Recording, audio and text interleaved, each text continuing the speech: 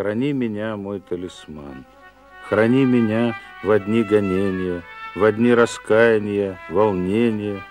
Ты в день печали был мне дан. Когда подымет океан вокруг меня валы ревучие, Когда грозою грянут тучи, Храни меня, мой талисман. В уединении чуждых стран, На лоне скучного покоя, Тревоги пламенного боя, Храни меня, мой талисман. Священный сладостный обман Души волшебное светило, Оно сокрылось, изменило, Храни меня, мой талисман.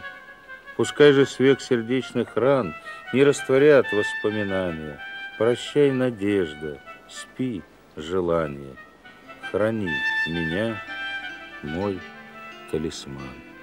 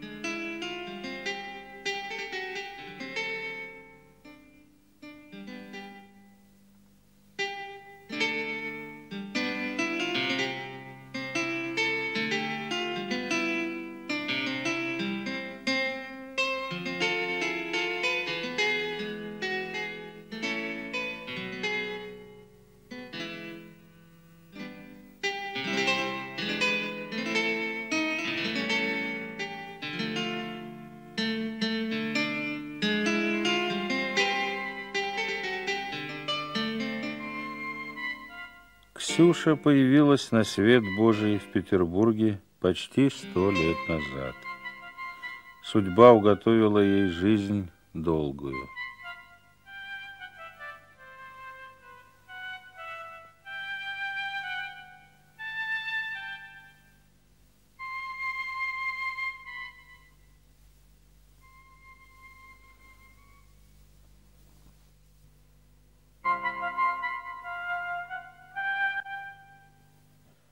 Я не верю в судьбу.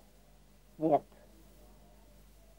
Тут меня как-то спросили, верите ли вы в Бога? Я говорю, нет, не верю. В какие-либо силы, которые еще управляют человеком. Я говорю, это силы физико-химические какие-то. Есть силы, которые мы еще не разгадали. Еще мы не поняли, всю нашу Вселенную, которая управляет. И эти силы какое-то оказывают на нас влияние, э, чисто физическое воздействие. А э, от физического воздействия у нас воздействие на наш рассудок. В это я верю. Затем, агат Христа. Я вот Иисус Христос историческая личность. И это же доказано, что он был существовал, и который, это э, человек высокой нравственности, высоких духовных потенциалов. То, что мы сказали, культуры, духовной. Он же жил, он же оставил после себя следы, так что в его существовании, но как лица исторического, я не, э, не сомневаюсь нисколько. Истоки мудрости Ксении Петровны Гемп в ее родословной, русских дворян Беклемишевых и Никольских, и польско-литовских князей Минейка, которые явили миру плеяду политических деятелей и ученых, первооткрывателей и художников. Она – осколочек российской дворянской интеллигенции. Женщины в ее роду блистали красотой и умом, мужчиной, благородством и бесстрашием. Потомственный дворянин инженер Петр Герардович Минейко. Потомственная дворянка Надежда Михайловна из рода Никольских, родители Ксении Петровны.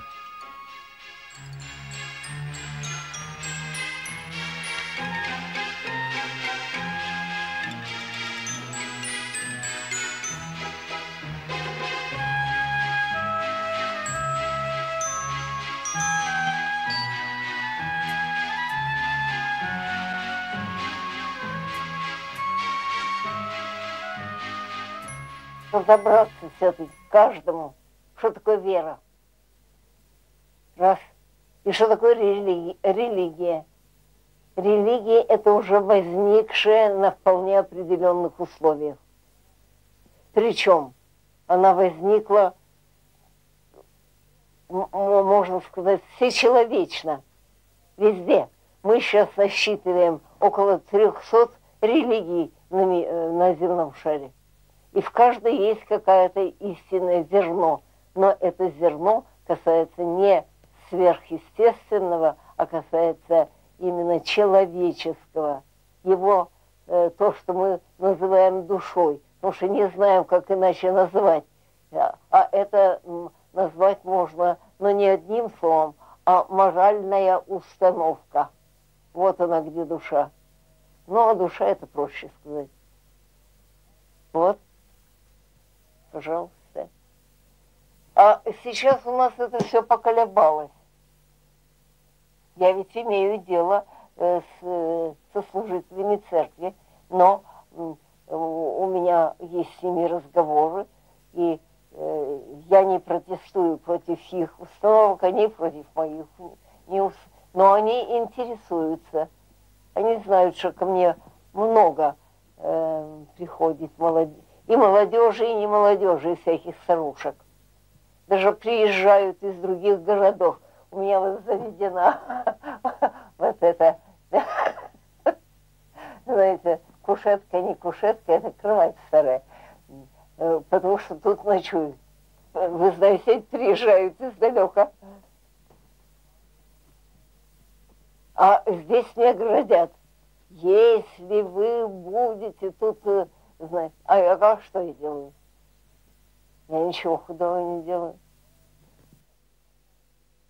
Грозят врачи, врачи.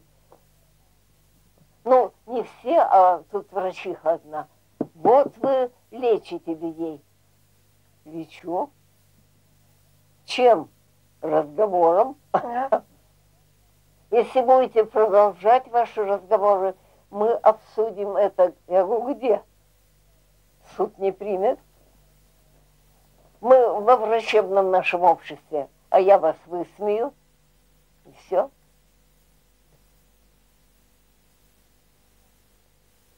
Это дело каждого человека, его убеждения. Без этого многие жить не могут. А установка может быть разная. У одних милосердие и благодеяние, у других молитва – у третьих уход за больными, у четвертых наказывание преступников. У каждого свое, своя установка. Так вот нужно, может быть, какую-то вести работу за преобладанием какой-то установки именно моральной милосердия. Я лично считаю, что первое должно быть милосердие. Милосердие не обязательно 100 рублей подарить. Не обязательно хлебом накормить. Если есть, так и накормить. А нет, так не отрывать от своих детей. А ты словом, поведением своим покажи, что ты милосерд, что к тебе могут прийти за помощью. Вот я что считаю.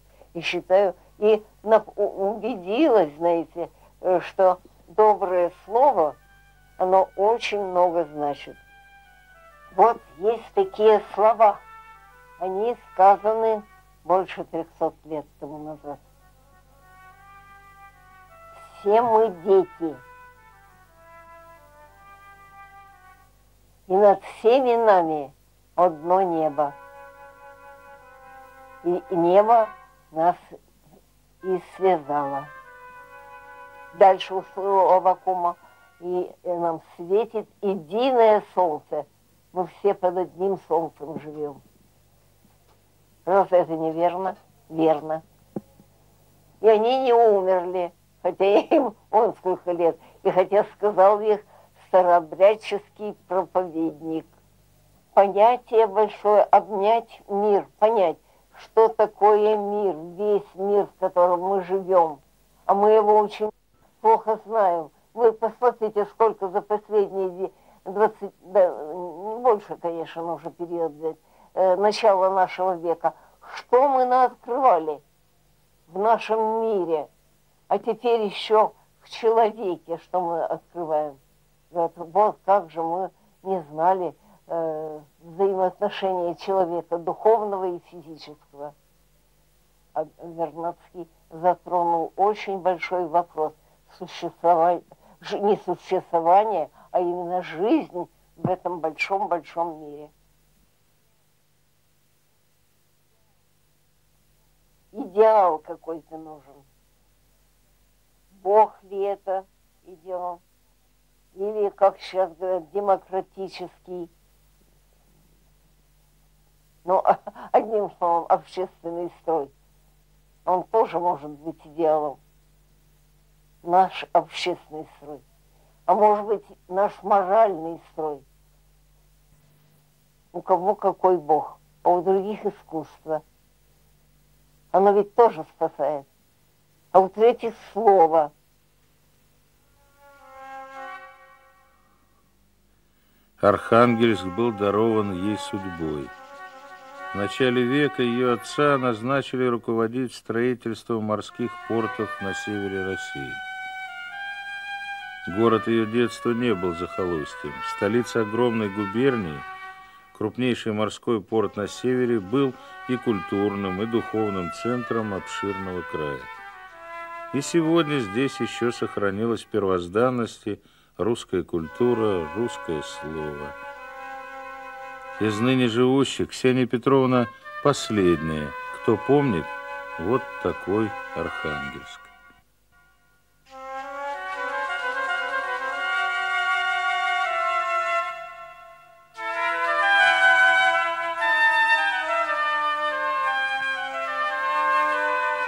903 году девятилетняя Ксения перед поступлением в гимназию впервые отправляется в путешествие по поморским деревням. А спустя 80 лет она напишет книгу «Сказ о Беломорье», энциклопедию поморского быта и слова. Очень любят разговоры в Поморье. Я ведь там 31 раз была в Поморье. Ходила там по побережью разговор зашел. Что знают из старого? Она говорит, да к тебе что сказать-то?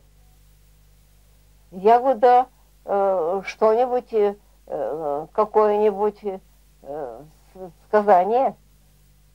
Не, я сказаний-то не знаю. Я только сказываю. Я, да, Анисия Петровна, сказываешь, да ведь вот сказание. Ты что? Городская дура. Получила, знаете. Сказание. Это то, надо ничего не изменить, ни словечушко, как было написано, хоть при Иване Грозном. Так надо.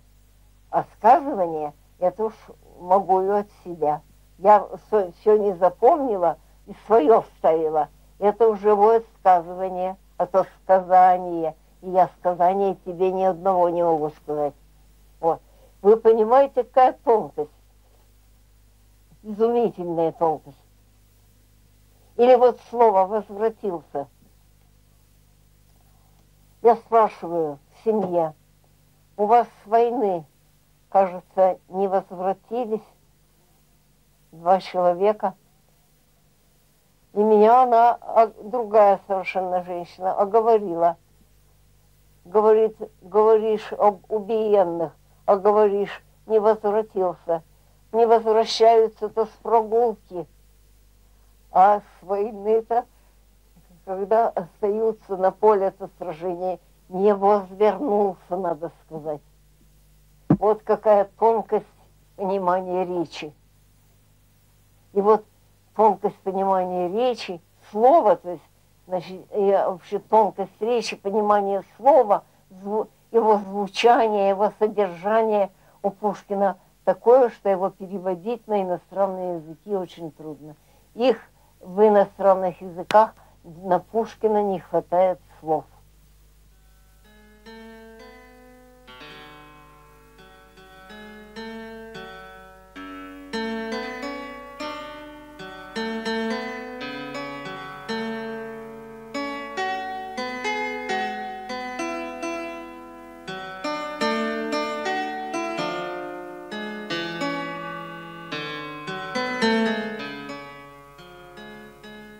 Я, знаете, э, с детства поклонница Пушкина. Это у нас дома в семье было. И тут я попала, знаете, к чудесным пушкинистам. Это Нестор Александрович, э, сейчас скажу, как его звали, Котляревский, который потом основал Пушкинский дом.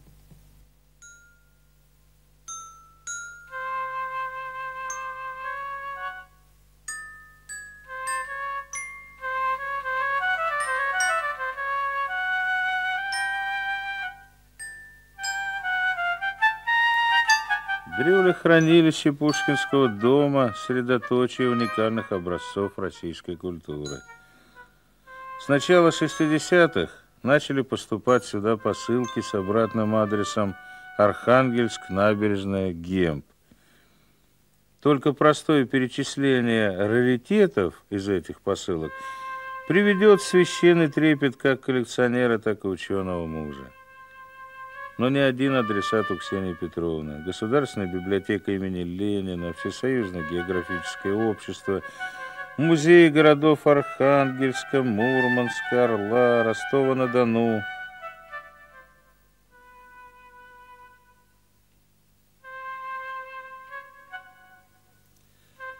Мог бы гордиться своей ученицей основатель Пушкинского дома профессор Котляревский.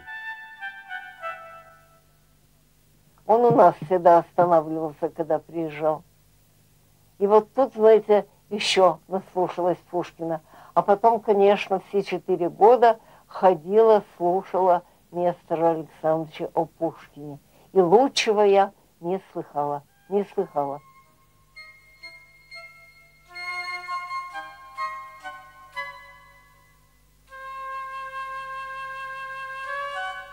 Почему Чайковскому было так легко писать романсы на слова Пушкина? Потому что сам романс Пушкина, его, э, то есть стихотворение Пушкина, его слова, они уже музыка. У нас по истории музыки э, читал директор, во-первых, Сергей Константинович Булич. Он большой знаток был, э, музыки, симфонической главным образом. А Сакетти – тоже знаменитый, э, знаете, лектор э, по истории музыки, он э, главным образом малые формы музыкальные. И когда курс читался, ну, тот или другой, или больше симфонической музыки читал, или Сакити малые формы музыкальные, всегда приглашались артисты. Шаляпин, например, выступал у нас для иллюстрации лекций Булича. Затем Каракаш, баритон был, тоже Мариинского театра. Он обычно у Сакетти выступал вместе. Романсы Чайковского, которые написаны в баритонном э, фоне, тоне. Вот, так что вот тогда студенты приглашались, а больше они не, пуст... не бывали там у нас, балов у нас не устраивались. Устраивались лекции э, этих э, писателей. Например, Маяковского, где я слышала первый раз, именно слышала на курсах, когда он явился, когда он всех поразил. Пришел. У нас большой зал, э, э, конференц-зал. Обычно были стулья, два ряда, и в середине проход. И вот появился человек необычайного роста. Это был Маяков Маяковский, который а, в конце зала в, в, кафедра э, возвышение. И там у него э, четыре ступеньки для того, чтобы забраться. Он пришел и шагнул длинной ногой не по ступенькам, а сразу на кафедру. И у меня запомнился, мне запомнился Маяковский в таком виде, как он, знаете, шагнул на кафедру, минуя ступеньки. А потом поразил, конечно, своим голосом. Это голос был, ну, знаете, колоссальной мощи голос.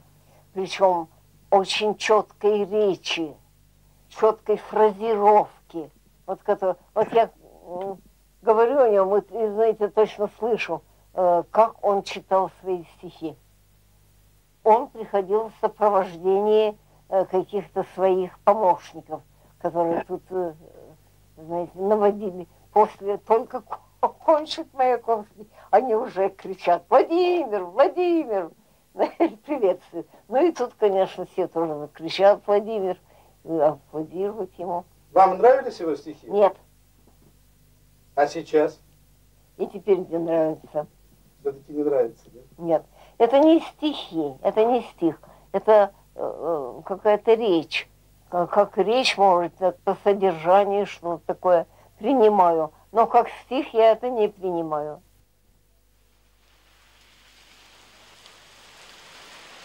Ей теперь близка изящная словесность. Ведь она с золотой медалью закончила классическую женскую гимназию. Вот таким же летним дождем провожал ее Архангельск-Петербург на бестужевские курсы. У нас э, бестужевские курсы были ведь замечательные, замечательные курсы. Это э, специально жен, для женщин высшее учебное заведение. Причем было предоставлено э, большой очень объем различных э, факультетов э, для учебы. И когда говорят, ну что, вы кончали Бестужевский, старина. О, говорю, старина. Это не старина, это бы пример брать с этих курсов.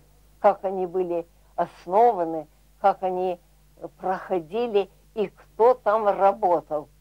Там ни один профессор не читал по листочкам на кафедру, не, не выходил на кафедру с книжками и не прочитывал там, как сейчас профессора читают. Он говорил, рассказывал, живописал. И вот у нас там были замечательные филологи. О, один филолог Будуэн де Куртене, Иван Александрович. Это был потомок Будуэна де Куртене, э, который возглавил 1415 году крестовый поход для спасения гроба Господня от Магометан. Это его предок. И вот он остался последний у нас и преподавал у нас на курсах языкознания и говорил, что тот, кто не понимает, что такое язык, тот, значит, не понимает, что такое слово, тот не понимает, что такое знание. Без точного понимания языка знания нет вообще знания. Вот. Это было первое высшее учебное заведение для женщин. Мужчин туда не принимали. Но это не было с каким-нибудь ослаблением там, э, э, тех э,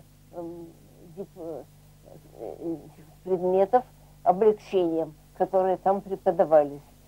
Преподавание велось по университетской программе. Вот это, конечно, было э, большим очень знаете, достижением. Это не был какой-то институт, как некоторые сейчас представляют. Ну что вы курсы кончали? Это был женский университет.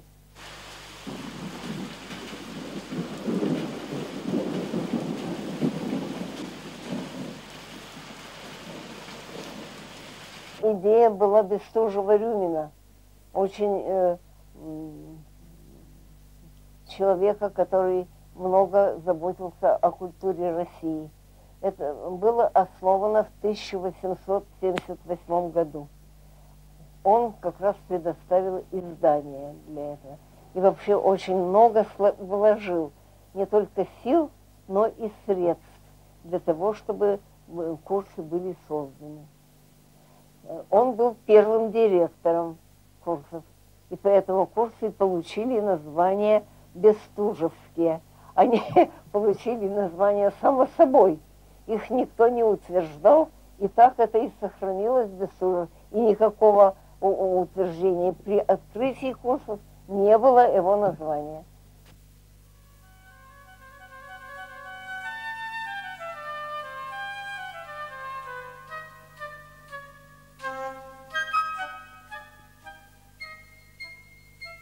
Прием был без э.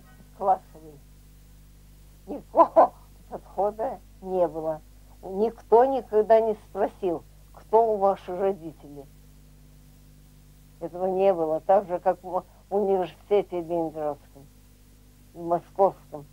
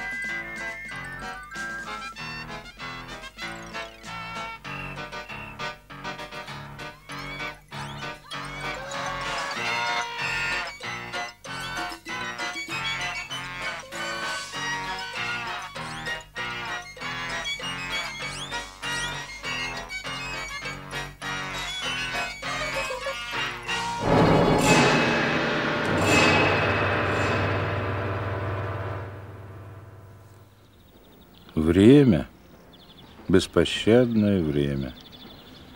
Оно не щадит ни людей, ни зданий. Нет больше в России первого женского университета. Давно ушли из жизни его выпускницы. Но жива еще последняя Бестужевка.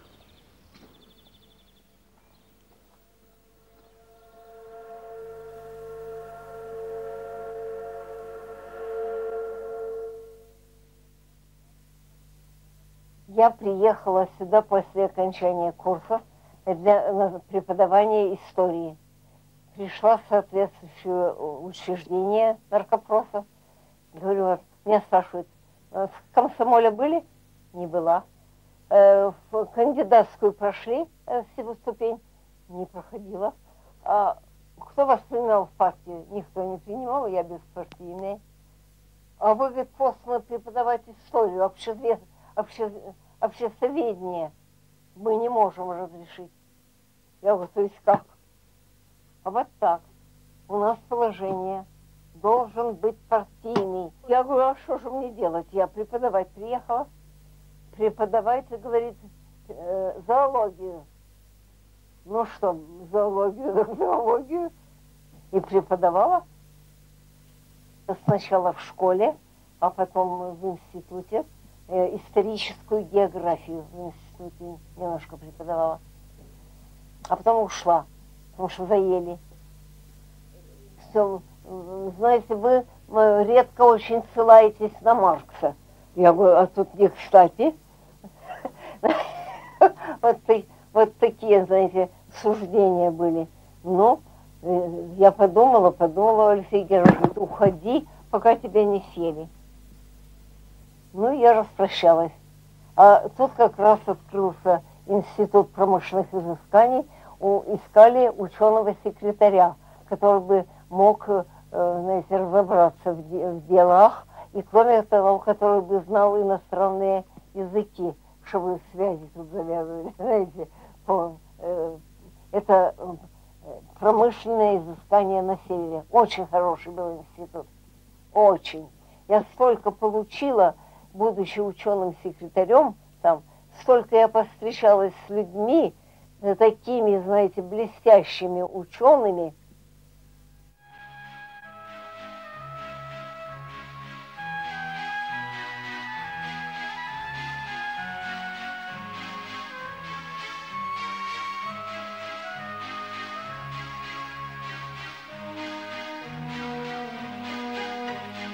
Более полувека – эта тополиная аллея на набережной была свидетельницей трогательных отношений двух бесконечно преданных друг другу людей.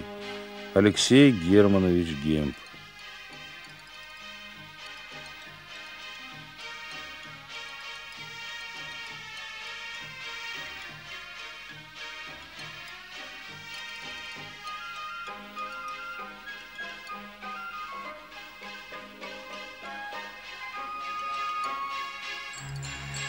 Помнят тополя пору их юности, молодого родительского счастья, пору сурового узнавания жизни и опустошающих ударов судьбы.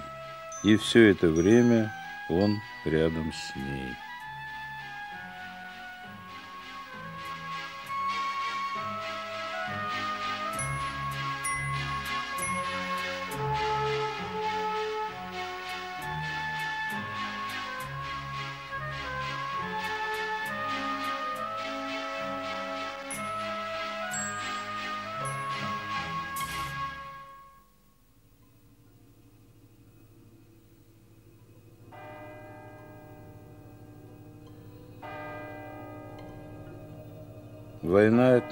Единственного сына. В середине 70-х ушел из жизни Алексей Германович.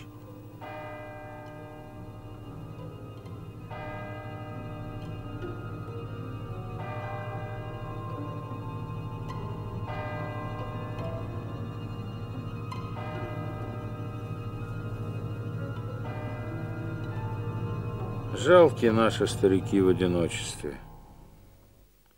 Ксения Петровна вызывает и удивление, и восхищение. Далеко не каждому под силу вынести такие напасти, какие выпали на долю этой хрупкой женщины. 90 лет сложнейший перелом бедра и обеих ног. Врачи отчаялись помочь ей, кости не срастались. Что поделаешь, возраст. Но она победила. Победила сама, невзирая на протесты врачей, уехала домой и стала лечиться травами. И вскоре встала самостоятельно с постели, пошла. Вот так, как говорят поморы, и оклемалась. Не любит больниц Ксения Петровна. И потому еще не любит, что стены больничные, тоска коридорная – навевают горькие мысли, будут тяжелые воспоминания. Даже не знаю, ко всему можно привыкнуть.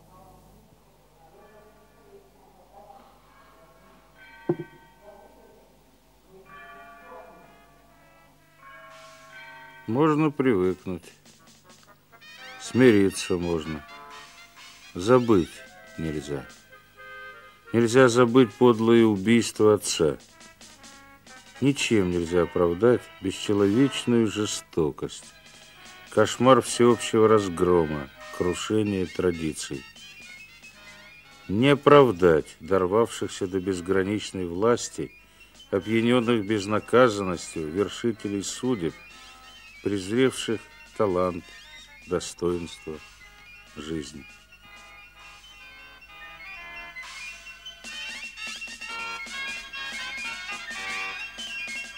Инженер Петр Герардович Минейко не мог быть таким. До конца остался верен он долгу служения России.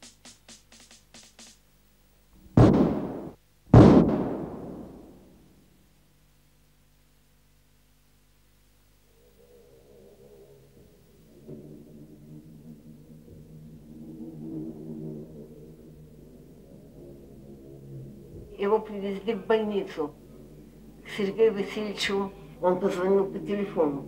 Ксения Петровна, привезли в больницу, подобрала милиция на Воскресенской улице, на снегу, э, лежит в, без пальто, в форменной тужурке, кровавленное лицо. По тужурке мы определили, что это Петр Герардович, а Сергей Васильевич это главный врач э, больницы, он был хороший знакомый моего отца. Может быть, вы придете и опознаете. Нам надо официально опознать.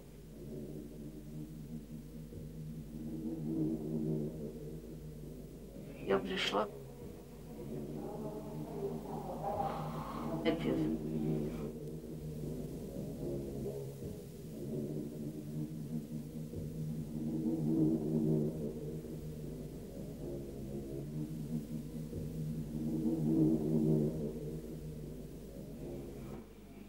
Через день или два пришел э, этот э, хранитель одежды в исполкоме и говорит, «Э, ваш отец не идет. Был на заседании, было, говорит, бурное заседание, а его, говорит, пальто и шапка остались. А пальто, говорит, зимняя шуба на меху, на Харьковом, с воротником, шапка бобровая. Так я, говорит, вам принес. Куда его в командировку, говорит, что ли, услали? Они его вывезли, потому что Сергей Васильевич мне сказал, привезли его на машине облсполкома.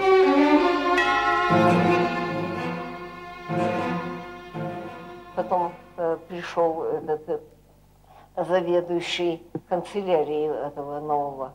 Он принес телеграмму. Телеграмма такая была от э, Совета народных комиссаров за подписью председателя сберечь семью Минейко и все, находящееся в их доме. А мы были уже выселены на улицу.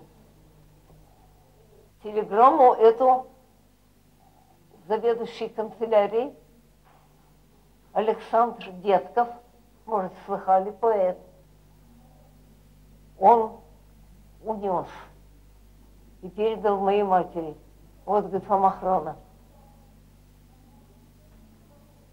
А мать пришли и арестовали. Мать моя была по образованию консерваторка. Она кончила э, консерваторию ли, петербургскую по классу э, рояля, знаете. А этот э,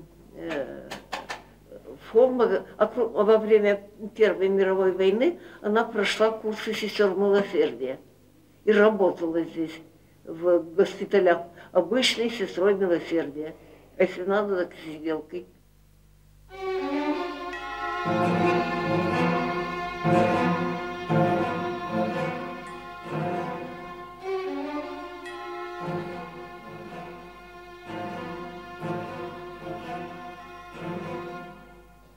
Она обвиняла, что в лазарет принимали э, не только э, этих раненых красноармейцев, а и иностранцев. Потому что иностранцы воска под Онегой э, сражалась. И там были иностранцы. Белые были. Был здесь суд. Обвинителем был Пельше. Арутьянович? Да. Как это ни странно. Не сколько? Ну вот, он был обвинителем. Было присуждены они все пятеро, а там были.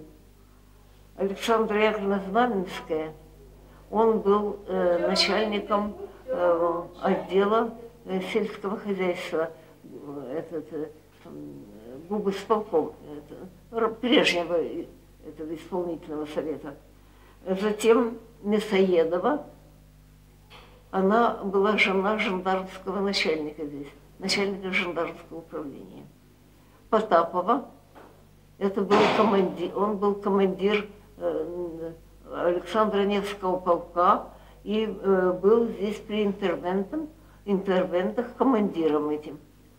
Э, затем значит, Знаменская, Потапова, Саедова, Сверлова, двоюродная сестра любимца Владимира Ильича,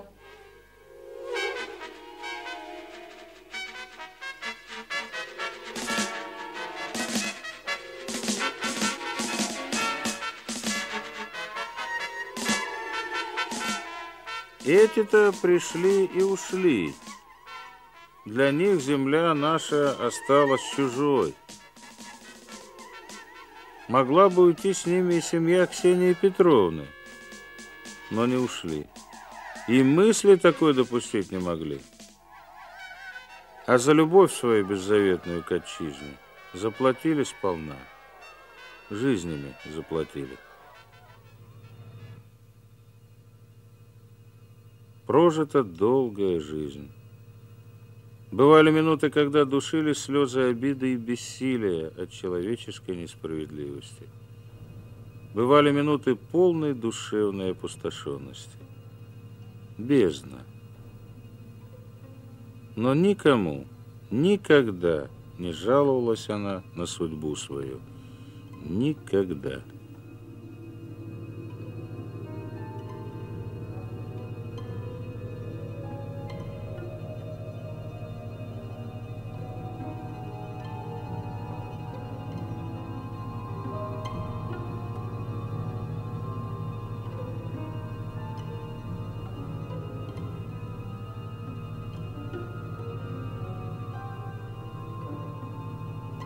Сейчас об этом, конечно, никто не говорит. Я никому не, знаете, не напоминаю, потому что уже виноватых нет. Понимаете, нет виноватых. Есть только те люди, которые сочувствовали нам. Они, конечно, Кедров не рассчитывал, что э, такое внимание мы встретим, и что нас в обиду не дадут. Теперь говорят мне, укажите могилу отца. Мы поставим памятник. А он по совету священника похоронен в церкви. А церковь скрыта.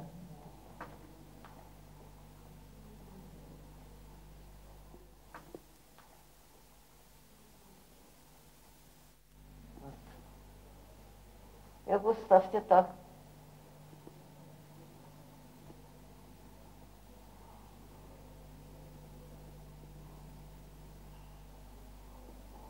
Какой бы вы говорит, хотели памятник? А я говорю, от вас никакой. Теперь только спохватились. Я вот четыре года назад квартиру получила, причем не просила, не заикалась нигде, никому. Затем вдруг меня поставили на какое-то снабжение. Я тоже говорила, что мне ничего не нужно.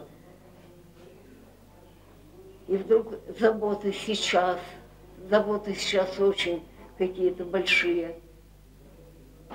Меня не вызывают к начальству, а начальство приходит. Говорят, вы, знаете, на костыликах, мы вас не, не можем тревожить.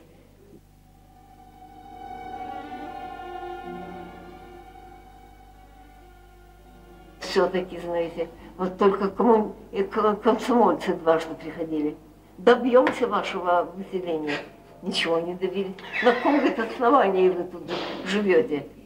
Что вам надо? А, а парень один мне сказал, что, говорит, вам надо? Вам, говорит, сто лет скоро, а вы тут расселились. А я говорю, а вам что надо? А я женился, только вот моя жена. Ну и говорю, дальше у нас дети будут. Я вот такие же, как вы.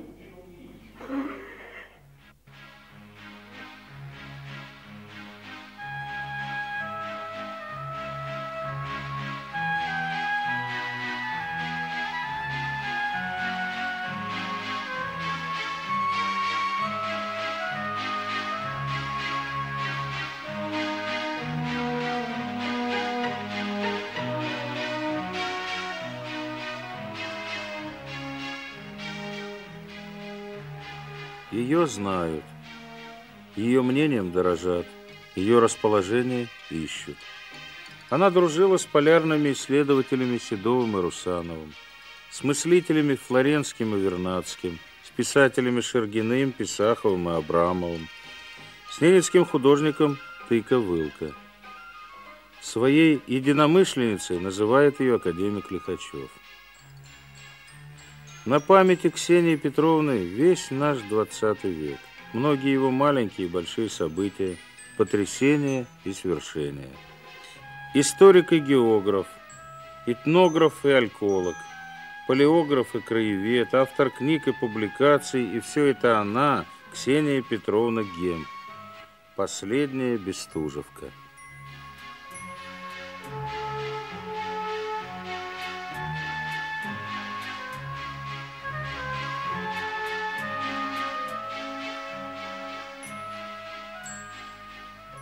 И трепещу, и проклинаю, и горько жалуюсь, но строк печальных не смываю.